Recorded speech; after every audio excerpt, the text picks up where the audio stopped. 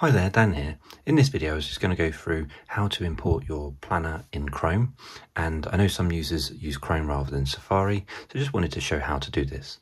The first thing you'll need to do is obviously have Chrome installed and then go to the download link for your planner. Once you've selected all of your options on the planner picker tool, just then tap the download planner. It will then open in another tab now do not tap the share icon because if you tap this, you'll notice that GoodNotes is not in here. So instead, what you'll need to do is tap the open in in the bottom right hand corner. If it disappears, just tap the screen, you'll see it again. Then tap open in and then tap GoodNotes. Just scroll along the top if you can't find it.